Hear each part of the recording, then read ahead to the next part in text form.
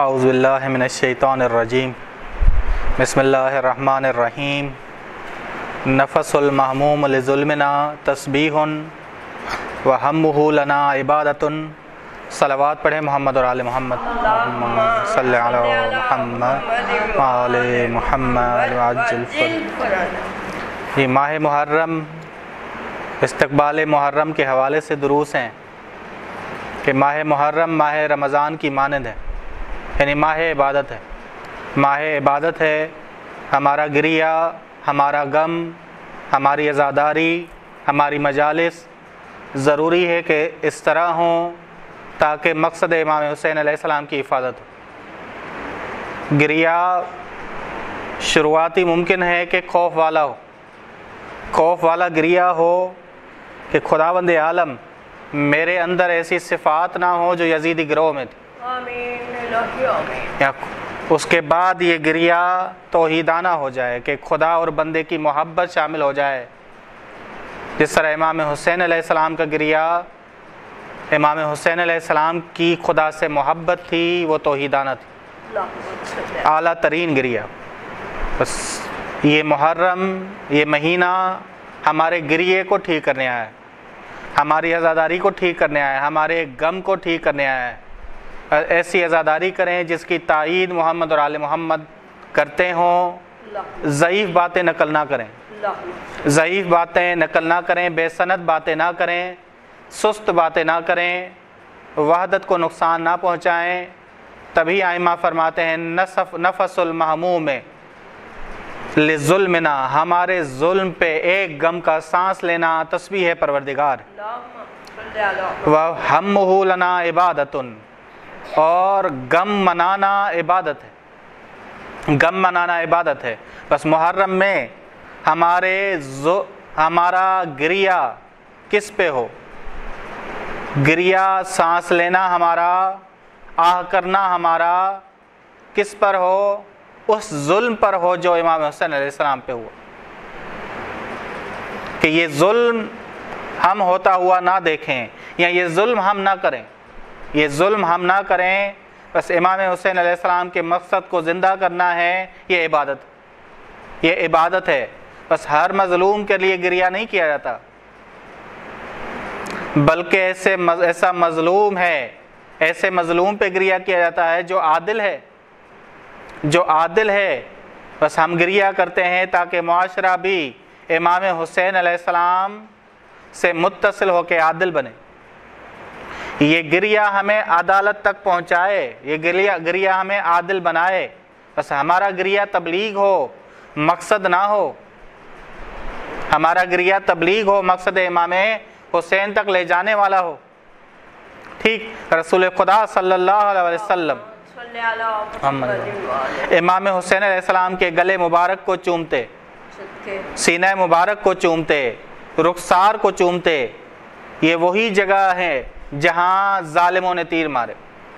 ظالموں نے تیر مارے یا پتھر مارے یا وہ ملون شخص شمر سینے پہ بیٹھا۔ بس دس اور بارہ سال سالہ بچے اس مجلس میں دیکھا کرتے تھے رسول خدا کے اس عمل کو۔ زید ابن ارکم جب پینسٹھ سال کے ہوئے اور یزید کے دربار میں بیٹھے ہوئے دیکھ رہے تھے یزید کے دربار میں دیکھ رہے تھے کہ یزید بے حرمتی کر رہا ہے امام حسین علیہ السلام کی۔ شڑی مار رہا ہے امام کے رخسار مبارک اور امام کے لبوں پر۔ ٹھیک۔ بس یہ کربلا کا حادثہ انہوں نے شام میں یزید سے کہا اے یزید کہ امام حسین علیہ السلام کے لبوں مبارک لبوں پہ اور رخساروں سے چھڑی ہٹاؤ۔ میں نے خود دیکھا ہے کہ رسول خدا ان کو چوما کرتے تھے۔ بس امام حسین علیہ السلام نے بہت بڑی قربانی دی۔ بہت بڑی قربانی دی ہے امام حسین علیہ السلام کا قیام نظام حق کو قائم کرنے کے لیے تھا۔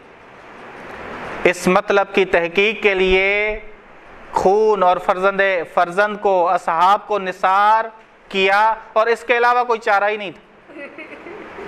کہ اپنا خون پیش کریں امام، اپنا، اپنے فرزندوں کو پیش کریں، اپنی اولاد کو پیش کریں، اپنے اصحاب کو پیش کریں۔ بس کوئی چارہ نہیں تھا، ممکن ہی نہیں تھا کہ ایک تقریر سے، ایک درس سے معاملہ حل ہو جائے۔ ایک درس سے معاملہ حل ہو جائے اور نظام باطل ختم ہو جائے۔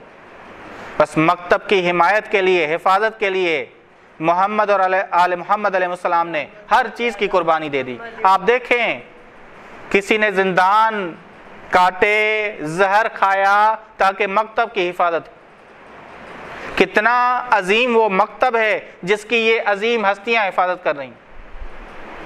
یہ عظیم ہستیاں حفاظت کر رہی ہیں۔ بس ہماری مجالس ازاداری ہمارا گریہ مکتب کی حفاظت کے لیے ہو۔ یہ یہ ہم اصول جب تک سیکھیں گے نہیں، آداب جب تک سیکھیں گے نہیں، کیسے ہم محرم میں مکتب کی حفاظت کریں گے؟ ہمارا گریہ، ہماری ازاداری کیسے مکتب کی حفاظت کرے گی؟ اتنی بڑی ہستیاں اپنے آپ کو پیش کر رہی ہیں، اپنی اولاد کو پیش کر رہی ہیں، اپنے اصحاب کو پیش کر رہی ہیں۔ جیسے جون کو پیش کر رہی ہیں، ویسے ہی علی علی اکبر کو پیش کر رہے ہیں۔ جیسے جون کو پیش کیا، جیسے برتاؤ جون کے ساتھ کیا، ویسے ہی علی اکبر کے ساتھ کیا۔ بس کیسے زین السلام علیہ نے سخت مراحل دیکھے، سخت مراحل دیکھے۔ لیکن ذرا برابر ان کے دل میں خیال نہیں آیا کہ میں مکتب کی حفاظت نہ کروں۔ بچوں نے دیکھا کہ زین السلام علیہ کبھی کہتی ہیں مارا تو اللہ جمیلہ بچوں نے دیکھا کہ کبھی زین السلام علیہ خدا سے بات کر رہی ہیں اور کہہ رہی ہیں، ربنا تقبل منا حاضل قربان بچوں نے دیکھا کبھی علی علیہ السلام سے مخاطب ہیں، اپنے بابا سے مخاطب ہیں بچوں نے دیکھا کبھی رسول خدا صلی اللہ علیہ وسلم سے خطاب کر رہی ہیں، فرما رہی ہیں کہ میرے نانا حسین ہدایت کے چراغ ہیں اور نجات کی کشتی ہیں۔ نانا جان، کربلا کے طوفان نے اس کشتی کی حرمت کو پامال کر دیا۔ اس کربلا کے طوفان نے اس کشتی کے، کشتی کو توڑ دیا ہے۔ اے میرے نانا، یہ کشتی خون کا خون کے طوفان سے ٹوٹ گئی۔ جسم کو پارا پارا کیا گیا ہے، یہ تربیت تھی بچوں کی، یہ تربیت تھی کہ ہماری ازاداری سے ہم سب کچھ یہ پیش کر رہے ہیں کہ مکتب کی حفاظت۔ یہ کتنا بڑا قدم تھا، کتنی بڑی جناب زین السلام علیہ تربیت کر رہی ہیں۔ ہماری ازاداری زینب سلام اللہ علیہ کی ماند ہو کہ نماز شب اس کٹن سفر میں قضا نہیں ہوتی جناب زینب سلام علیہ۔ کتنا بڑا پیغام ہے۔ کہ زینب سلام علیہ سے نماز شب کٹن کٹن سفر میں قضا نہیں ہوئی۔ کبھی خدا سے باتیں کرتی ہیں، کبھی رسول خدا سے باتیں کرتی ہیں۔ توسل کا سلسلہ قائم رکھا ہے۔ مضبوط ہونے کا سلسلہ قائم رکھا ہے۔ بچوں کو بھی تربیت دے رہی ہیں کہ ایسے مضبوط ہوا جاتا ہے۔ کتنی بڑی تعلیم ہے جناب حسین السلام علیہ کہ وہ بچے معاملہ یہ تھا کہ امام سجاد سے جناب زین السلام علیہ سیکھ کے معلم بچوں کی بن رہی تھیں وہ بچے کوفے کے بازار میں بھوکے جب گزر رہے ہیں تو وہ روٹی وہ صدقہ نہیں لے رہے ہیں، فرما رہے ہیں کہ ان امتی تقول، ہماری پپی نے کہا ہے کہ صدقہ لینا ہم پہ حرام۔ معلم کون بنی؟ کہ تعلیمات امام سجاد علیہ السلام بچوں تک پہنچائی جائیں۔ جناب زین السلام علیہ۔ کتنی بڑی ذمہ داری ہے، کتنی بڑی ذاکرہ ہیں زین السلام علیہ۔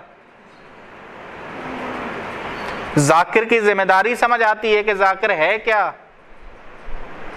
ذاکر ہے کیا؟ بس صرف کرامت اور شرافت، شہادت جو ہے، راہ خدا میں شہادت، یہ نہیں ہے۔ کہ شہداء دنیا سے انتقال کے بعد برزخ میں منتقل ہوں، صرف یہ نہیں ہے۔ یہ صرف کرامت نہیں ہے کہ شہداء زندہ ہیں۔ اصل ہدف کربلا بتاتی ہے۔ کربلا بتاتی ہے کہ اصل ہدف زندگی نہیں، زندگی تو دنیا میں بھی ہے مانوی۔ وہ مانوی زندگی دنیا میں بھی حاصل کرنی ہے، نہ کہ صرف وہاں۔ ممکن ہے یہ دوسرا ہدف کہہ دیں آپ۔ کہ برزخی زندگی انسان کو نصیب ہو۔ شہداء زندہ ہیں، لیکن اصل ہدف کربلا کا ہے لکھا اللہ۔ لکھا اللہ اہم ترین خصوصیت ہے کربلا کی کہ جو بھی امام نے کہا، جو بھی ہم پہ قربان ہونا چاہتا ہے، وہ لکھا اللہ کا منتظر رہے۔ لکھا اللہ کا منتظر رہے۔ بس ہر کوئی اپنے اعمال کے اعتبار سے زندگی گزارے گا۔ یہ برزک برزک کے ہے، لیے ہے۔ عقائد کے اعتبار سے لوگوں کو بحث ملیں گی، جن جنت ملے گی، یا بد لوگوں کو دوزک دوزک دوزک برزخی ملے گا۔ لیکن اہم ہدف جو کربلا کا ہے، اہم ہدف جو ہے امام حسین، پہنچانا چاہ رہے تھے، خود بھی پہنچنا چاہ رہے تھے، اولاد اور اصحاب کو پہنچانا چاہ رہے تھے، وہ لکھا اللہ ہے۔ جو جس کا بھی وطن لکھا اللہ ہے، فل یرحل معنا۔ وہ میرے ساتھ مکے سے نکلے۔ امام نے مکے میں جو آخری خطاب کیا، آخری جملے امام کے یہ ہیں۔ انشاءاللہ ہم صبح چلیں گے۔ جو بھی جس کا وطن لکھا اللہ ہے۔ بس بس لکھا اللہ کے لیے یہ پاکیزہ زندگی پہلے ہونی چاہیے، نہیں ہونی چاہیے؟ پہلے زندگی ہونی چاہیے، بس نہزت حسینی آمادہ کرتی ہے لکھا اللہ کے لیے۔ اگر ہم مجالس میں لکھا اللہ تک نہ پہنچائیں، مقصد امام حسین تک نہ پہنچائیں، ہماری ازاداری ہمارا غم لکھا اللہ تک نہ پہنچائے، پھر فائدہ کیا ہوا؟ فائدہ یہ ہے کہ لکھا اللہ تک پہنچائے۔ ایک اہم ترین فائدہ ہے۔ بس نہزت حسینی کی تفسیر رسول خدا اور امام علی علیہ السلام کی سیرت سے آشنائی کے بغیر ناممکن۔ یعنی پہلے سیرت رسول خدا کو سمجھو، پہلے امام علی کی سیرت کو سمجھو، اس کے بعد نہزت حسینی کو سمجھو۔ ایک اہم ترین نقطہ ہے، کس نے فرمایا؟ امام حسین نے خود تو فرمایا اسیر اب سیرت جدی، میں سیرت اپنے نانا، اپنے جد کی سیرت پہ چل رہا ہوں۔ جسے معلوم ہی نہ ہو کہ امام حسین کے جد کی سیرت کیا ہے، وہ کربلا کے پیغام کو کہاں کہاں سے سمجھے گا؟ جسے معلوم ہی نہ ہو کہ علی ابن ابی طالب کی سیرت کیا ہے، وہ مخالف امام حسین ہوگا۔ بس انسان کامل یعنی امام حسین رسول خدا کی جان ہے، علی علیہ السلام کی جان ہے۔ نفس نفس رسول ہے امام حسین، نفس علی ہیں بس امام حسین علیہ السلام، ایک اور اہم چیز۔ ایک غلط چیز جو ہمارے ہاں رائج ہے، وہ یہ ہے کہ ذاکرین اور علماء کہتے ہیں کہ اگر تمہیں رونا نہیں آ رہا، تو تم اپنے غموں کو یاد کر کے رو الٹ ہی آئمہ کے پیغام کے مخالف یہ پیغام۔ ہاں جی۔ کیا پیغام دیا امام حسین علیہ السلام نے؟ آخری پیغام جو جناب سکینہ سلام علیہ کو دیا، وہ یہ تھا۔ لوگوں سے کہو سمے تم بغریب اگر تم سب کسی غریب کی داستان سنو او شہید یا کسی شہید کی داستان سنو فندبونی مجھ پہ گریا کر یعنی چاہے یہ تکلیف اور زحمت تمہیں مل رہی ہے، چاہے تمہارا کوئی رشتہ دار مر رہا ہے، لیکن یہ داستان سن کے، یہ شہادت سن کے یاد مجھے کرو۔ ہر جگہ یاد مجھے کرو۔ یہ کتنا بڑا محرم کا پیغام۔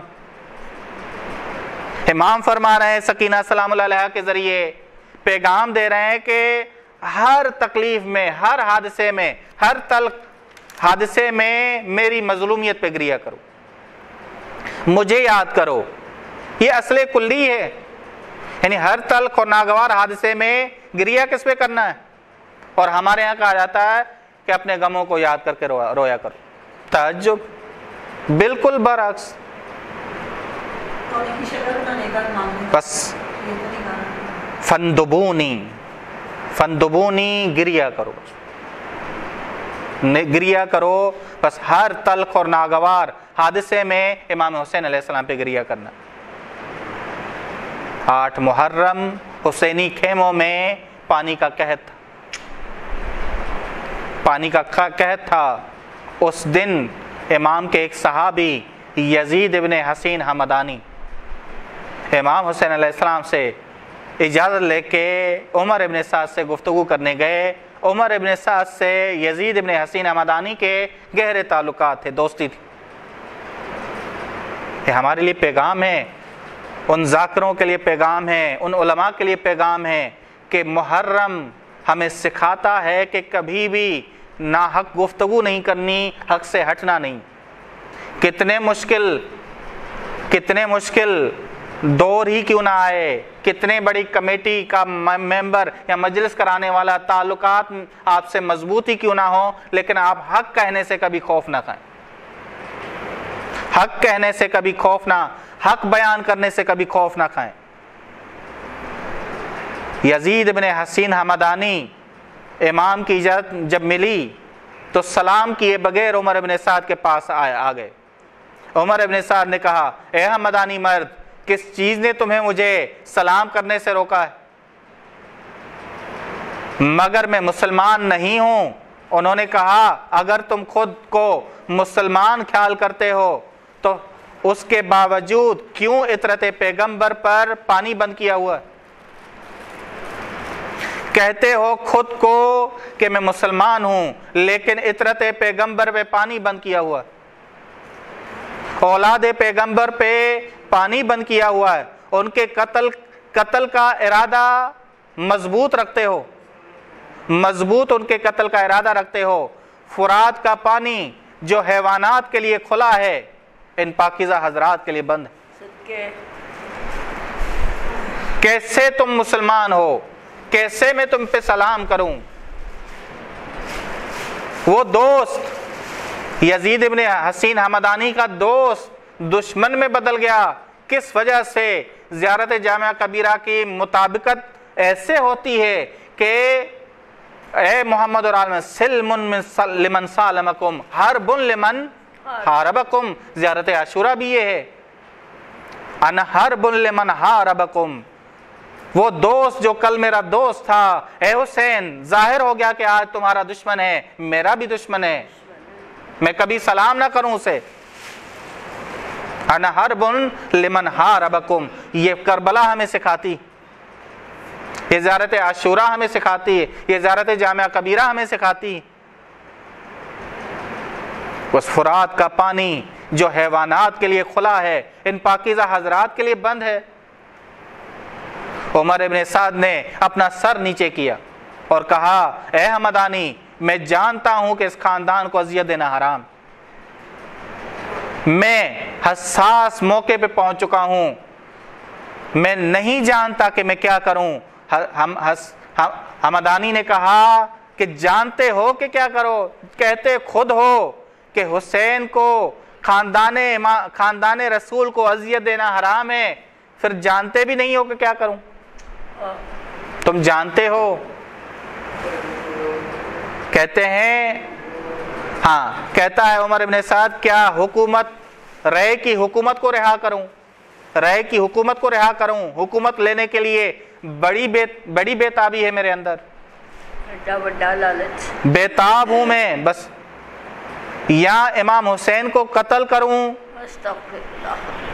یا حکومت رہے نہ لوں۔ حالانکہ جانتا ہوں کہ اس کام کا نتیجہ حسین کے قتل کا نتیجہ جہنم کی آگ۔ جہنم کی آگ ہے۔ اے حمدانی مرد، رے کی حکومت میری آنکھوں کی ٹھنڈک۔ اے حمدانی مرد، رے کی حکومت میری آنکھوں کی ٹھنڈک ہے۔ میں کیسے اس کو رہا رہا کروں؟ یہ جب حالات دیکھے، یزید ابن حسین حمدانی نے امام حسین کی طرف پلٹے اور کہا، عمر ابن سعد، اب راضی ہو گیا ہے کہ آپ کو حکومت رہے کی حکومت کی لالچ میں قتل کر دے یہ ایک کردار ہے یزید ابن حسین حمدانی کا کہ اس کٹھن موقع پہ وہ دوست دشمن بن گیا۔ ہر بن لمن ہار ابکم مطابقت ہو گئی ان کی زیارت جامعہ کبیرہ کے اور زیارت عاشورہ کیونکہ یہ ایام زیارت جامعہ کبیرہ کے مطابقت اور زیارت عاشورہ کے مطابقت کے بس۔ اموی نمائندے بار بار امام حسین علیہ السلام کے پاس آئے کہ یزید خلیف خلیفہ رسول امام علیہ السلام نے فرمایا کہ خلافت حرام ہے آل ابو سفیان کے لیے۔ کیونکہ خلیفہ مستخلف عنہ کے نظام کو لاتا ہے۔ مستخلف عنہ کے نظام کو لاتا ہے اس کی باتیں کرتا ہے۔ حالانکہ یہاں اس نے روم کی سلطنت بنائی ہوئی۔ روم کی سلطنت بنائی ہوئی ہے، بس روم کی سلطنت بنا کے مجھے کیا کہہ رہا ہے؟ بس جو خلیفہ ہو، باتیں روم کی سلطنت کی کرے، وہ گاسب ہے۔ وہ گاسب ہے۔ امام حسین علیہ السلام نے ارشاد فرمایا کہ میں آیا ہوں تاکہ خلافت کے معنی کو آزاد کروں۔ خلافت کے معنی کو آزاد کروں تاکہ میں بتاؤں کہ خلیفہ اور امام وہ ہے جو عادل۔ خلیفہ اور امام وہ ہے جو عادل ہے۔ قرآن پر عمل کرنے والا ہے اور خدا کی رضا کے لیے خواہشات پہ کنٹرول کرنے والا ہے۔ خواہشات پہ کنٹرول کرنے والا ہے۔ بس تاکہ یہ کوئی نہ کہے کہ انسان خلیفہ ہے۔ انسان خلیفہ ہے اور دین کوئی نہیں۔ یہ آ کے بنو امیہ نے کہا انسان خلیفہ ہے لیکن دین کوئی نہیں۔ دین دی کوئی لوڑ نہیں۔ بس، دین کوئی نہیں ہے بلکہ سلطنت۔ سلطنت ہے، بس روشن ہوا کہ امام حسین علیہ السلام عقلوں کو نور بخشنے والے تھے۔ عقلوں کو نور بخشنے والے تھے نہزت حسینی یعنی عقلوں کو نور فراہم کرنے والی تحریک۔ نور فراہم کرنے والی تحریک۔ بس ہمارا گریہ اس لیے ہو تاکہ ہماری عقلیں روشن ہو جائے بنیاد گریے کی، عقل روشن ہونے کے لیے۔ عقل سلانے کے لیے نہیں ہے گریہ عقل کو روشن کرنے کے لیے۔ وجہ کیا ہے کہ ہم عمر بڑھتی ہے تو عقل ہونے کے بجائے کن ذہن ہوتے جاتے ہیں؟ وجہ یہ ہے کہ گریہ ہمارا عقل روشن کرنے کے لیے تھے، ہے ہی نہیں۔ جتنا ہم گریہ کرتے ہیں، اور کوئی گریہ کرتا ہے؟ لیکن یہ گریہ عقل روشن کرنے کے لیے ہو تو دن بدن ترقی ہوتی جاتی ہے انسان کی۔ عقلی لحاظ سے انسان جوان ہوتا جاتا ہے۔ یعنی کربلا ازاداری انسان کو مانوی لحاظ سے نوجوان بناتی ہے۔ نوجوان بناتی ہے۔ رسول خدا صلی اللہ علیہ وسلم نے فرمایا حسین مجھ سے ہے میں حسین سے ہوں۔ خدا بند عالم نے رسول خدا کو کوسر عطا کیا۔ انا آتینا کل کوسر بس امام حسین کا وجود رسول خدا کو ہدیہ ہوا۔ ہے ہدیہ ہوا ہے۔ امام حسین علیہ السلام فرماتے ہیں کہ میں اپنے جد کی سیرت پہ چل رہا ہوں۔ بس سیرت رسول خدا ضروری ہے کہ کربلا سے پہلے آمادہ ہو۔ سیرت رسول خدا، بس امام حسین علیہ السلام کربلا کے کوثر ہیں۔ کوثر کربلا ہیں۔ ان کے کردار سے دشمن مایوس ہوا۔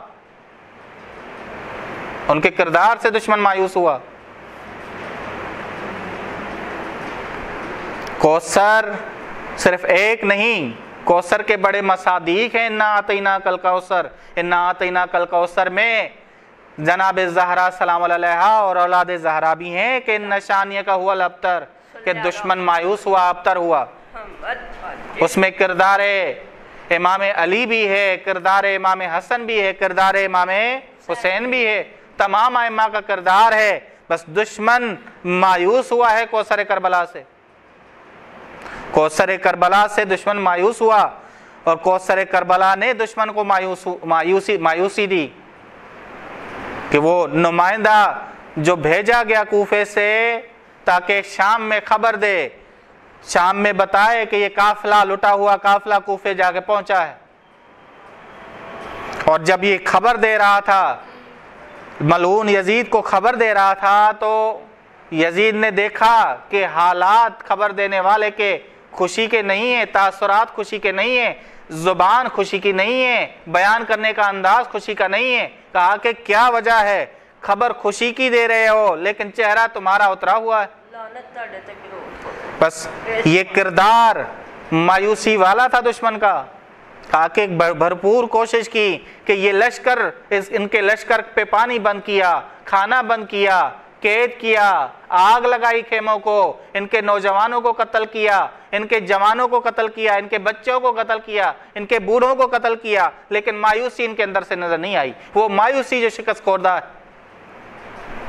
ہے۔ موجزہ ہے کربلا کوسر کربلا کوسر ہے۔ دشمن کی مایوسی ہے۔ آپ دیکھیں کہ امام حسین علیہ السلام کے خطبے، امام حسین علیہ السلام کے دعوت امام حسین علیہ السلام کی شہادت سب مایوس کرنے والی تھی دشمن کو۔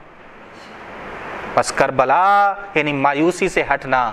خدا سے دعا ہے کہ ہمیں کربلا پہ عمل کرنے کی توفیق عطا۔ صلی اللہ علیہ محمد اہل بیت طیب صلی اللہ على محمد